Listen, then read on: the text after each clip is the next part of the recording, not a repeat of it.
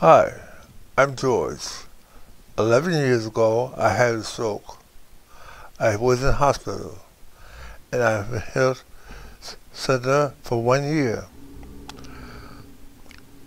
A stroke left me weakness in my arm and difficult speaking.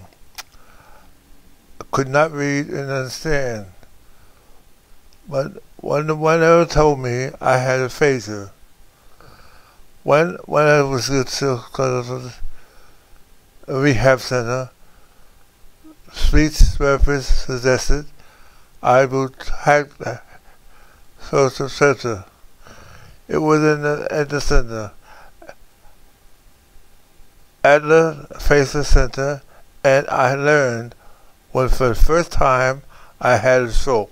So, so, so, so, I knew I had spoken and writing and knew that was the name for it.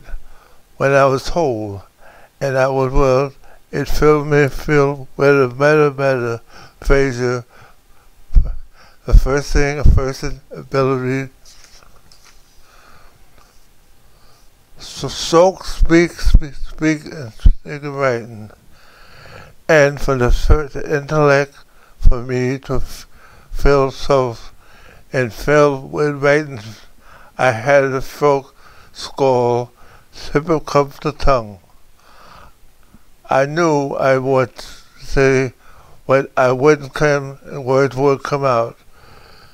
And for an important firstalism the first firstalism for help and understand and sit with and for the first time for the first time it felt a feel improvement and I was first time coming off Father, father, thing for center for ten years my first was the and for the first time,